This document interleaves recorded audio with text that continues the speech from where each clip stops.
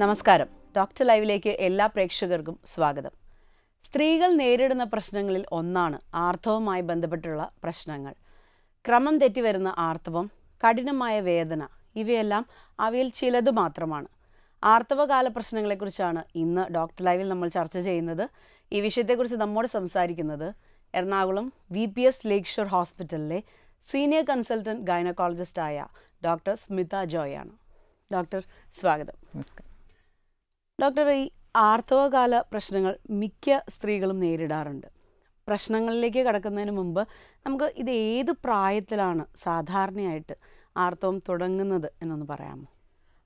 നമ്മൾ പ്രായത്തിലേക്ക് കടക്കുന്നതിന് മുമ്പ് ആദ്യം നമുക്ക് എന്താണ് ആർത്തവം എന്നൊന്ന് ജസ്റ്റ് ഒരു ബ്രീഫായിട്ട് ഞാൻ പറയാം. നമ്മൾ സാധാരണഗതിയിൽ നമ്മുടെ ഓവേറിയൻ ആക്സിസ് ഒക്കെ മെച്യൂർ ആയി കഴിയുമ്പം അപ്പോഴാണ് നമ്മൾ ഫസ്റ്റ് പീരീഡ്സ് സ്റ്റാർട്ട് ചെയ്യുന്നത്.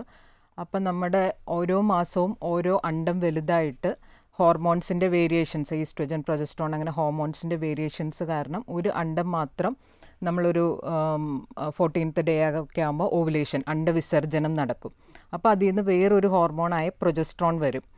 അത് ഇങ്ങനെ ബിൽഡപ്പ് ചെയ്തപ്പോൾ യൂസ് യൂട്രസിന്റെ ഉള്ളിലത്തെ ലൈനിങ് എൻഡോമെട്രിയം എന്ന് പറയും. അത് ഈസ്ട്രോജന്റെ ഇഫക്റ്റ് കൊണ്ടും പ്രൊജസ്ട്രോണിന്റെ ഇഫക്റ്റ് കൊണ്ടും അത് ബിൽഡപ്പ് ആയിട്ട് വന്ന് ഒരു പർട്ടിക്കുലർ ലെവലിൽ എത്തി എത്തിക്കഴിയുമ്പം ഈ പ്രൊജസ്ട്രോൺ നിൽക്കും അപ്പോൾ നമ്മൾ യൂട്രസിന്റെ ഉള്ളിലത്തെ ലൈനിങ് ഷെഡ് ചെയ്ത് പോകുന്നതാണ് ഈ നമ്മൾ ആർത്തവമായിട്ട് വരുന്നത്.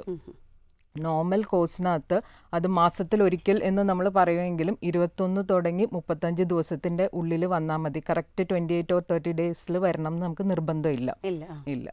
പിന്നെ നോർമൽ കോഴ്സിൽ പീരീഡ്സ് സ്റ്റാർട്ട് ചെയ്യുന്ന ഒരു ഏജ് ടെൻ ഇയേഴ്സ് ആണ്. ടെൻ അല്ല ഒരു ടെൻ ടു ട്വൽവ് ഇയേഴ്സിലാണ് ഇപ്പം നമുക്ക് കുറച്ചും കൂടെ ഏർലി ആയിട്ടുള്ളതുകൊണ്ടാണ് ഞാൻ ടെൻ ഇയേഴ്സ് എന്ന് പറഞ്ഞത്. മുമ്പൊക്കെ നമുക്ക് ഒരു ട്വൽവ് ഇയേഴ്സ് തേർട്ടീൻ ഇയേഴ്സ് ഒക്കെ ആയിരുന്നു. പക്ഷെ എട്ട് വയസ്സിന് മുമ്പ് വരികയാണെങ്കിൽ മാത്രം നമ്മളത് വളരെ നേരത്തെ നമ്മൾ പ്രിക്കോഷ്യസ് പ്യൂബർട്ടി എന്ന് പറയും. അങ്ങനെ കൺസിഡർ ചെയ്യും. എങ്കിലും ഒരു എയ്റ്റ് ടു ടെൻ ഇയേഴ്സ് ആവും ആണ് അതിന്റെ ഇടയ്ക്കാണ് വരുന്നതെങ്കിൽ പോലും നമ്മളൊന്ന് ചിലപ്പം ആ കുട്ടീനെ ഒന്ന് ഡോക്ടറെ കാണിക്കുന്നത് നല്ലതായിരിക്കും. വേറെ എന്തെങ്കിലും റീസൺ കാരണമാണോ ഇത്രയും നേരത്തെ വന്നതെന്ന് അറിയാനായിട്ട്. എട്ടും വയസ്സും മുതലൊക്കെ വന്ന് തുടങ്ങുന്നുണ്ടെന്ന് പറഞ്ഞു. സാധാരണ ഒരു പ്രായം പത്ത് വയസ്സ് മുതലാണ്. അപ്പോൾ എന്തുകൊണ്ടാണ് ഡോക്ടർ ഇങ്ങനെ നേരത്തെ ആർത്തവം വരാനുള്ള ഒരു കാരണം ഫിസിയോളജിക്കലി നമ്മൾ പറയുമ്പോൾ നേരത്തെ ഇപ്പോൾ ആവാനുള്ള കാരണം നമ്മുടെ ലൈഫ് സ്റ്റൈൽ ചേഞ്ചസ് ആണ്. കുട്ടികളൊക്കെ നമുക്കറിയാം ഭക്ഷണക്രമങ്ങൾ. ആരും വെജിറ്റേറിയൻ ഡയറ്റ് അല്ല ജങ്ക് ഫുഡ്സ് മിക്ക കുട്ടികളും ഒബീസാണ്. അപ്പോൾ അത് കാരണം നമ്മുടെ ബോഡിയിലെ ഈസ്ട്രോജൻ ലെവൽസ് ഒക്കെ കൂടുതലായിരിക്കും. അപ്പോൾ അതുകൊണ്ടാണ് പണ്ടത്തേലും നമ്മുടെ പീരീഡ്സ് അറ്റൈൻ ചെയ്യുന്ന ഏജ് മുന്നോട്ട് വന്നേക്കുന്നത്. പിന്നെ ഞാൻ നേരത്തെ പറഞ്ഞ പോലെ നമ്മൾ പ്രിക്കോഷ്യസ് പ്യൂബർട്ടി ഒക്കെ ആകുമ്പോൾ നമുക്ക് പെത്തോളജിക്കൽ കോസസ് നമ്മൾ റൂൾ ഔട്ട് ചെയ്യണം. അതായത് ചിലപ്പോൾ ഓവറിന്ന് വരുന്ന ചില ഈസ്ട്രോജൻ ഒക്കെ ഉണ്ടാക്കുന്ന ട്യൂമേഴ്സ് ഉണ്ട്. അപ്പോൾ അത് പ്രസന്റ് ചെയ്യുന്നത് ചിലപ്പോൾ ഇങ്ങനെ ഫസ്റ്റ് പീരീഡ്സ് നേരത്തെ വരുന്നു അങ്ങനെ ആയിരിക്കാം. അതുപോലെ ചില ബ്രെയിനിലെ ചില ട്യൂമേഴ്സ് ബ്രെയിൻ സംബന്ധമായ ചില അസുഖങ്ങൾ അങ്ങനത്തെ അതുപോലെ തൈറോയിഡിലെ വേരിയേഷൻസ് ഇങ്ങനത്തെയൊക്കെ പ്രശ്നങ്ങൾ വരുമ്പോഴും നമുക്ക് നേരത്തെ പീരീഡ്സ് വരാം. തീർച്ചയായിട്ടും നേരത്തെ പീരീഡ്സ് വരാണെങ്കിൽ ഡോക്ടറെ കാണിക്കേണ്ടത് വളരെ അത്യാവശ്യമാണ്. ഇപ്പൊ നേരത്തെ വരുന്ന കാര്യം പറഞ്ഞു. ഇതുപോലെ തന്നെ ചില കുട്ടികളിൽ വളരെ വൈകി വരുന്നവരുമുണ്ട്. അതെന്തുകൊണ്ടായിരിക്കും അങ്ങനെ അത്രയും വൈകി പോകുന്നതിന്റെ ഒരു കാര്യം? വൈകി വരുന്നതിന്റെ മെയിൻ റീസൺ ഫെമിലിയൽ അല്ലെങ്കിൽ ജനറ്റിക് അപ്പോൾ നമ്മൾ അവരോട് ഹിസ്റ്ററി ചോദിക്കുമ്പോൾ നമുക്കറിയാം അവരുടെ മദർ അല്ലെങ്കിൽ സിസ്റ്റേഴ്സിനൊക്കെ ലേറ്റ് ആയിട്ടായിരിക്കും പീരീഡ്സ് അയക്കുന്നത് പക്ഷേ എപ്പോഴും നമ്മൾ വേറെ എന്തെങ്കിലും റീസൺ ഉണ്ടോ എന്ന് റൂൾ ഔട്ട് ചെയ്യണം. നമുക്കപ്പോൾ ഒരു പതിനഞ്ച് വയസ്സ് വരെ സപ്പോസ് ആദ്യമായിട്ട് വരുന്നത് ബ്രസ്റ്റ് ഡെവലപ്മെന്റ് ആണ്. നമ്മൾ ആ ഡെവലപ്മെന്റ് അപ്പോൾ breast development hair development growth നമ്മുടെ ഗ്രോത്ത് സ്പെട്ട് അതായത് ഹൈറ്റ് കൂടുക അങ്ങനത്തെ. അപ്പോൾ ഈ സെക്കൻഡറി സെക്ഷൽ ക്യാരക്ടേഴ്സ് ഒക്കെ ഉണ്ട്. എന്നിട്ടും പീരീഡ്സ് ആയില്ലെങ്കിൽ നമുക്ക് ഒരു സെവന്റീൻ ഇയേഴ്സ് വരെ വെയിറ്റ് ചെയ്യാം. പക്ഷേ ഇതൊന്നുമില്ല ബ്രസ്റ്റ് ഡെവലപ്മെന്റ് ഇല്ല ഹെയർ ഡെവലപ്മെന്റ് ഇല്ല ഒന്നും ഇല്ലെങ്കിൽ നമ്മൾ ഫിഫ്റ്റീൻ ഇയേഴ്സ് ആയിട്ടും പീരീഡ്സ് ആയില്ലെങ്കിൽ നമ്മൾ അതിനുള്ള ഇൻവെസ്റ്റിഗേഷൻസ് ചെയ്യണം. അപ്പം അതിന്റെ നമ്മൾ ഒരു റീസൺ എന്ന് പറഞ്ഞാൽ ചിലവർക്ക് ജനിതകമായിട്ട് യൂട്രസ് ഉണ്ടാവില്ല. അപ്പം നമുക്കത് അറിയാൻ പറ്റില്ല. സ്കാനൊക്കെ ചെയ്ത് നോക്കിയാലേ അറിയാൻ പറ്റുള്ളൂ. ചിലപ്പോൾ അണ്ടാശയങ്ങൾ ഉണ്ടാവും പക്ഷേ യൂട്രസ് ഉണ്ടാവില്ല. ചിലവർക്ക് നമ്മളൊരു ഒരു മെയിൽ ബേസിക്കലി ഒരു മെയിൽ ഒരു ഇതാണ്. പക്ഷെ അവരുടെ ടെസ്റ്റോസിറോൺ ശരിക്കും ആക്ട് ചെയ്യുന്നില്ല. അപ്പോൾ അവർക്ക് യൂട്രസും ഓവറി ഉണ്ടാവില്ല. പഴ- പകരം ടെസ്റ്റിസ് അവർക്ക് വയറിന്റെ ഉള്ളിൽ അങ്ങനെ കാണുന്ന അതൊക്കെ ഇങ്ങനെ റയറായിട്ടുള്ള ചില ജനറ്റിക് ഡിസോർഡേഴ്സ് ഒക്കെ ഉണ്ട്. അപ്പോൾ നമ്മൾ അതൊക്കെ നമ്മൾ റൂൾ ഔട്ട് ചെയ്യണം. അപ്പൊ ഇതിനെല്ലാം നമുക്ക് ടെസ്റ്റ് ചെയ്യുമ്പോൾ സ്കാനിങ് തന്നെയാണോ? ഒരു ഒരു പരിധി വരെ നമ്മൾ സ്കാൻ ചെയ്ത് നോക്കണം. പിന്നെ നമ്മൾ ഹോർമോണൽ ഇവാലുവേഷൻസ് ഒക്കെ ഉണ്ട്. ബ്ലഡ് ടെസ്റ്റ് ചെയ്യാം. ബ്ലഡ് ടെസ്റ്റ് ചെയ്യണം. ഇപ്പൊ പിന്നെ പി സി ഒ ഡി വന്നേക്കുന്ന കാരണം പി സി ഒ ഡി ഉള്ളവർക്ക് ഇതുപോലെ ലേറ്റ് ആയിട്ട് പീരീഡ്സ് ഒരു പ്രസന്റ് ചെയ്ത് വരാം. അപ്പോൾ നമ്മൾ നോക്കുമ്പോൾ ബാക്കിയെല്ലാം യൂട്രസും ഓവറിയൊക്കെ ഡെവലപ്പ് ചെയ്തിട്ടുണ്ടാവും. Basic problem P C O D ആയിരിക്കും. പിന്നെ അതുപോലെ തൈറോയിഡിന്റെ നേരത്തെ ഇതുപോലെ തന്നെ അൺകൺട്രോൾ തൈറോയിഡ് എന്തെങ്കിലും ഡിസോർഡേഴ്സ് ഉണ്ടെങ്കിലും അങ്ങനെ അബ്നോർമലിറ്റീസ് വരാം. അപ്പോൾ നേരത്തെ ഡോക്ടർ പറയുകയുണ്ടായി ഒരു ആർത്തവ ചക്രം അല്ലെങ്കിൽ ഒരു പീരിയഡിക് സൈക്കിൾ എന്ന് പറയുന്നത് ഒരു ഇരുപത്തെട്ട് ദിവസത്തിന്റെ ഉള്ളിലുള്ള ആണെന്ന് പറഞ്ഞു. ചിലർക്ക് വളരെ തേർട്ടി ഫൈവ് ഡേയ്സ് അങ്ങനെ എടുക്കാറുണ്ട്. ശരിക്കും ഈ ഒരു പീരിയഡിക് സൈക്കിൾ എങ്ങനെയാണെന്നൊന്ന് പറയാമോ? ഡേയ്സ് ആണോ ചോദിക്കുന്നത്? ഡേയ്സ് ദിവസങ്ങൾ നമ്മൾ twenty one to thirty five days ആണ് നോർമൽ സൈക്കിൾ എന്ന് പറയുന്നത്. അതായത് അപ്പോൾ നമ്മൾ സാധാരണ ഗതി പറയും നമ്മളിപ്പോൾ തേർട്ടി ഡേയ്സിന് എടുക്കുകയാണെങ്കിൽ ഒരാഴ്ച മുന്നോട്ടോ ഒരാഴ്ചയ്ക്ക് ശേഷമോ വന്നാൽ കുഴപ്പമില്ല. അപ്പോൾ നമ്മൾ ഈ വരുന്നതെന്ന് പറയുന്ന ഫസ്റ്റ് ഡേ ഓഫ് പീരീഡ്സ് വെച്ചാണ് കാൽക്കുലേറ്റ് ചെയ്യുന്നത്. അല്ലാതെ ബ്ലീഡിങ് എൻഡ് ചെയ്യുന്ന ഡേ തുടങ്ങി പിന്നെ അടുത്ത പീരീഡ്സിനുള്ള ഡേ അല്ല നോക്കുന്നത്. അപ്പോൾ ഫസ്റ്റ് ഡേ ഓഫ് പീരീഡ്സ് തുടങ്ങി നെക്സ്റ്റ് പീരീഡ്സ് വരെയുടെ ഇടയിൽ twenty one to thirty five days cycle ആണെങ്കിൽ തേർട്ടി ഫൈവ് ഡേയ്സ് ആണെങ്കിൽ it is considered as normal ശരിക്കും ഈ ആർത്തവ പ്രശ്നങ്ങൾ ഇപ്പോൾ ഈ ഒരു സാധാ ഈ ഒരു കാലഘട്ടത്തിൽ സാധാരണയായിട്ട് കണ്ടുവരുന്ന ആർത്തവ പ്രശ്നങ്ങൾ എന്തൊക്കെയാണ്? മെയിൻലി ഇപ്പം നമുക്ക് വരുന്നത് ഒന്ന് ഇറഗുലർ സൈക്കിൾസ് ആണ്. അത് എല്ലാ ഏജ് ഗ്രൂപ്പിലും ഉണ്ട്.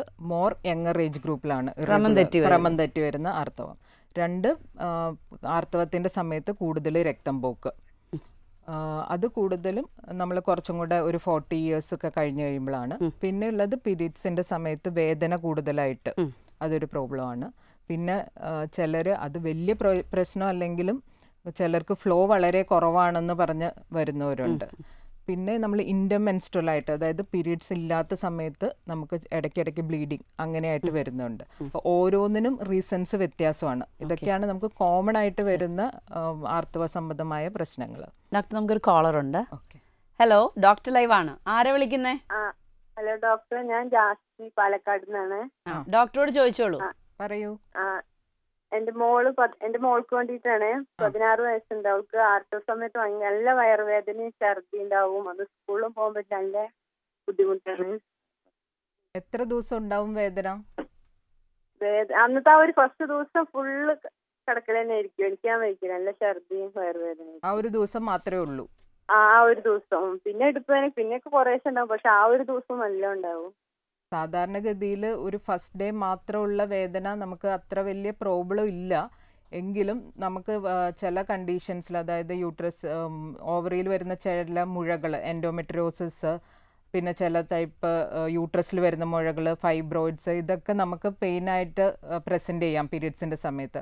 അപ്പോൾ ഒരു ഡോക്ടറെ കണ്ടിട്ട് ഒരു സ്കാനൊക്കെ ചെയ്ത് ഇതൊന്നും ഇല്ല എന്ന് നമുക്ക് ഉറപ്പ് വരുത്തിയാൽ പിന്നെ നമ്മൾ ഇത് കുഴപ്പമില്ലാത്ത ഫിസിയോളജിക്കലായിട്ടുള്ള ഒരു പീരീഡ്സിന്റെ പെയിൻ ആണെന്ന് നമുക്ക് കൺസിഡർ ചെയ്യാം. അപ്പോൾ നമ്മൾ അതിനുള്ള പെയിനുള്ള ടാബ്ലറ്റ്സ് എടുത്താൽ മതിയാവും. ഓക്കെ ഡോക്ടർ നമുക്കൊരു ഇടവേളയ്ക്ക് ശേഷം തിരിച്ചു വരാം.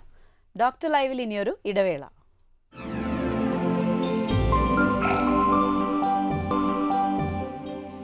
ഡോക്ടർ ലൈവ് തുടരുന്നു. ഡോക്ടർ നമുക്കൊരു കോളർ വെയിറ്റ് ചെയ്യുന്നുണ്ട്. ഹലോ ഡോക്ടർ ലൈവ് ആണ്. ആരാ വിളിക്കുന്നേ? ഹലോ ഞാൻ ഷേർലി തൊടുപുഴ. ഡോക്ടറോട് ചോദിച്ചോളൂ. പറയൂ. കഴിഞ്ഞ ജൂണിൽ എനിക്ക് എന്റെ മെൻസസ് മാറിയതാണ്. എനിക്ക് അമ്പത്തഞ്ച് വയസ്സുണ്ട്. കഴിഞ്ഞ ജൂണിൽ മാറി. ഹലോ? ഓക്കെ പറയൂ കേൾക്കുന്നുണ്ട്.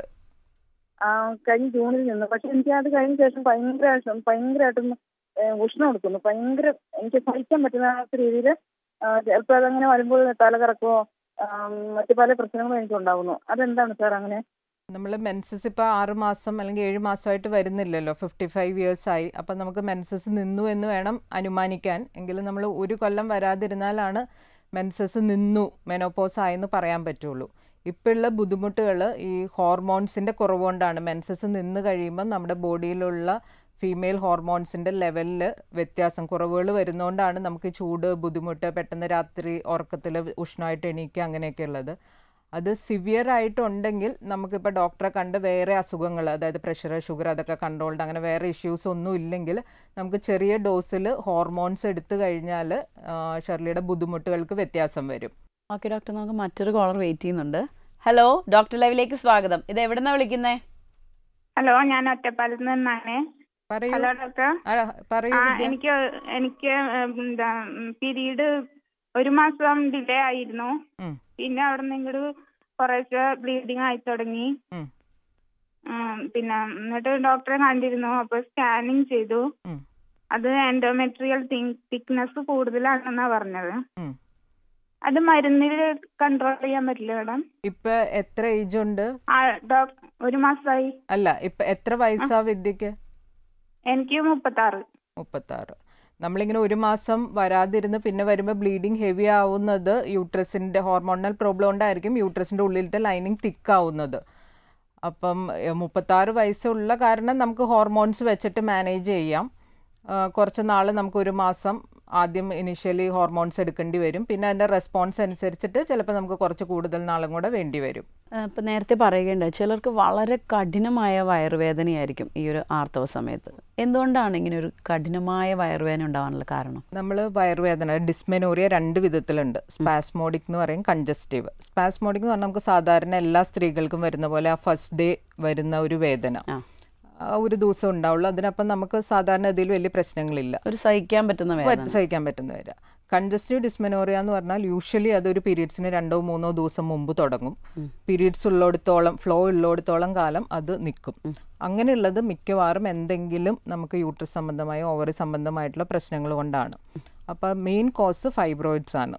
ഫൈബ്രോയിഡ് തന്നെ എസ്പെഷ്യലി യൂട്രസിന്റെ ഉള്ളിലേക്ക് തള്ളി നിൽക്കുന്ന ഫൈബ്രോയിഡ്സ് അത്. പിന്നെ രണ്ടാമത്തത് അഡിനോമയോസിസ് എന്ന് പറയും. അതായത് യൂട്രസിന്റെ ഭിത്തി വലുതാവുന്നു. യൂട്രസിന്റെ ഉള്ളിൽ ഞാൻ ആദ്യം പറഞ്ഞ ആ ഷെഡായി പോകുന്ന എൻഡോമെട്രിയൽ ടിഷ്യൂസ് യൂട്രസിന്റെ മസിൽസിന്റെ ഉള്ളിലേക്ക് കയറുന്നതാണ് അപ്പൊ യൂട്രസിന് ചുരുങ്ങാനൊക്കെ ബുദ്ധിമുട്ടായിരിക്കും പീരിയഡ്സിന്റെ സമയത്ത്. അപ്പോൾ അത് അങ്ങനെ ചുരുങ്ങാൻ ശ്രമിക്കുന്നതുകൊണ്ട് നമുക്ക് വേദന കൂടുതലായിരിക്കും.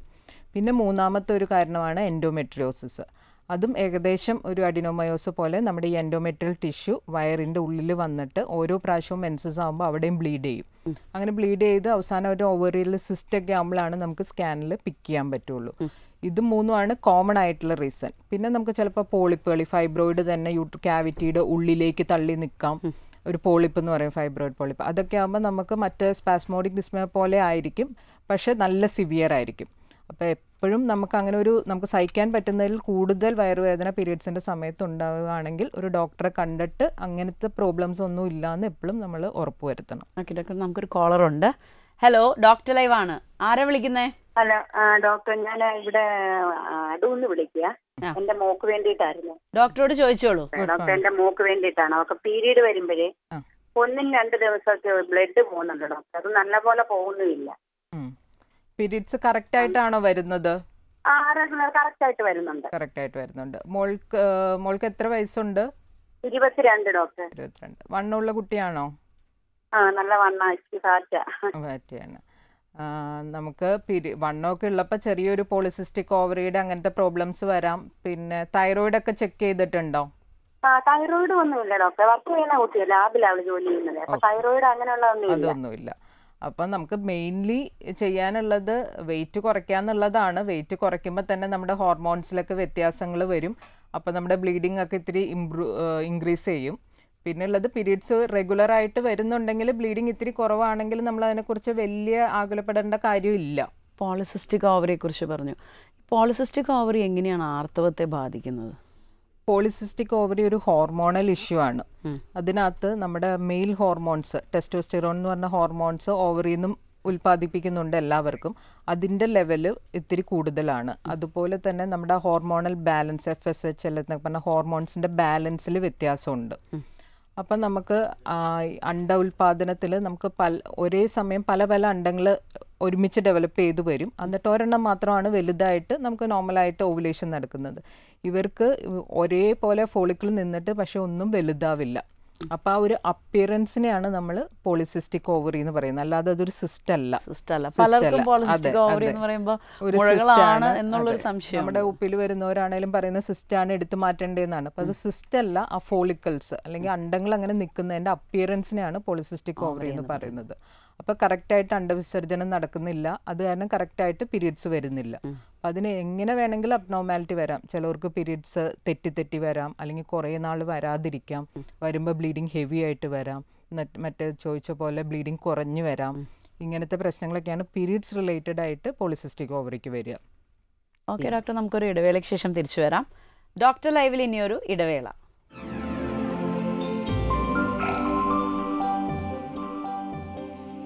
ഡോക്ടർ ലൈവിലേക്ക് വീണ്ടും സ്വാഗതം. ഡോക്ടർ നമുക്കൊരു കോളർ ഉണ്ട്. ഹലോ ഡോക്ടർ ലൈവ് ആണ്. ആരാ വിളിക്കുന്നേ? ഞാൻ ലത. ആ ലത ഡോക്ടറോട് ചോദിച്ചോളൂ. ഡോക്ടറെ എനിക്ക് അമ്പത്തിരണ്ട് വയസ്സായേ. എനിക്ക് ഇതുവരെയും പീരീഡ്സ് നിന്നില്ല. പ്രത്യേകിച്ച് ഇടയ്ക്ക് ഒരു കഴിഞ്ഞ വർഷമൊക്കെ ഇടയ്ക്ക് ഇങ്ങനെ രണ്ട് മാസമൊക്കെ കൂടുമ്പോഴേ വരുള്ളായിരുന്നു. ഇപ്പൊ കൃത്യം ഇരുപത്തഞ്ച് ദിവസം ആകുമ്പോ വരുന്നുണ്ട്. രണ്ട് മൂന്ന് രണ്ടര മൂന്ന് ദിവസമുള്ളൂ വേറെ പ്രശ്നങ്ങളൊന്നുമില്ല. ഉച്ച വരെ ഒരു ബ്ലീഡിങ് വരും.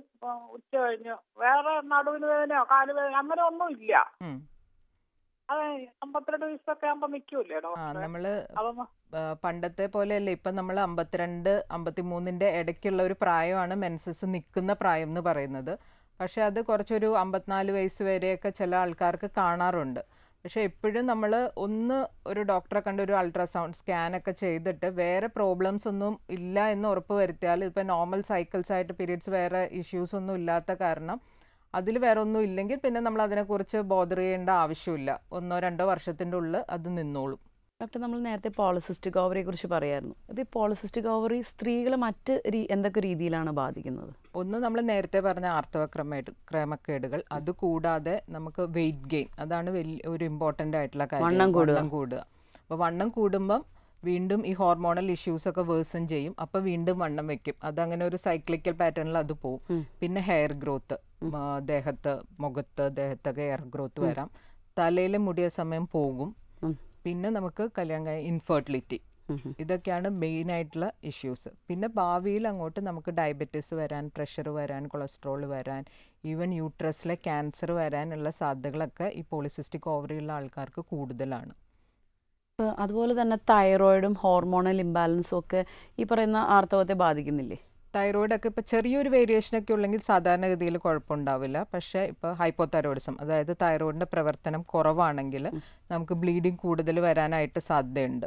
അതുപോലെ തൈറോയിഡിന്റെ പ്രവർത്തനം കൂടുതൽ ഹൈപ്പർ തൈറോയിഡിസം ആകുമ്പോൾ പീരീഡ് കുറഞ്ഞിരിക്കാം. അങ്ങനത്തെ വേരിയേഷൻസ് ഒക്കെ വരാറുണ്ട്. അപ്പോൾ നമുക്ക് മെൻസ്ട്രൽ ആയിട്ട് ഇറഗുലാരിറ്റീസ് ഉണ്ടാകുമ്പം നമുക്ക് ഏറ്റവും കറക്റ്റ് ചെയ്യാൻ പറ്റുന്ന കാരണ കാര്യങ്ങളിലൊന്നാണ് ഈ തൈറോയിഡ് അപ്നോമാലിറ്റീസ് അതുപോലെ തന്നെ പ്രസവശേഷം ഒരുപാട് പേര് പറഞ്ഞു കേട്ടിട്ടുണ്ട്. ആർത്തവുമായി ബന്ധപ്പെട്ട് റെഗുലർ ആകുന്നില്ല അല്ലെങ്കിൽ ഒരുപാട് വൈകി വരുന്നു എന്നൊക്കെ. എന്തുകൊണ്ടായിരിക്കും അങ്ങനെ?